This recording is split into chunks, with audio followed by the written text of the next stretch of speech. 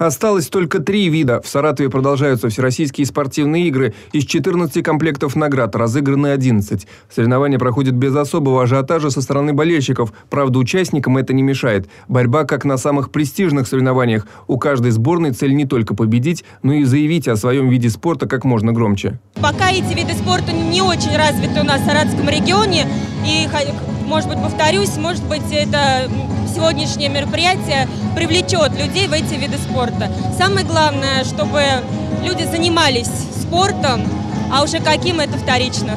В программу соревнований включены 14 видов спорта. Среди них и такие экзотические для Саратова, как флорбол. Это хоккей в залах. Кстати, многие спортивные функционеры говорят, что игра становится все популярнее во всем мире и вполне может в будущем войти в олимпийскую программу.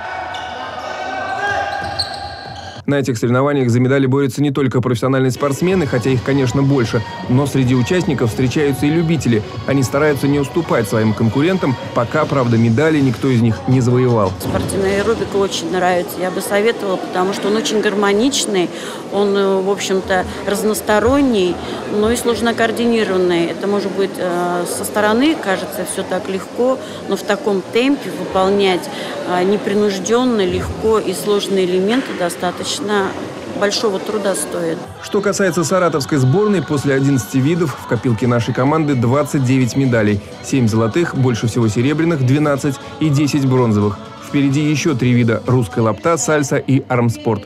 Павел Фитилев, Олег Буланов. Новости телеобъектив. Ценишь настоящую свободу? Сеть джинсовых магазинов «Торнадо». Проверено временем, одобрено покупателями. «Торнадо». Джинсы. Что надо.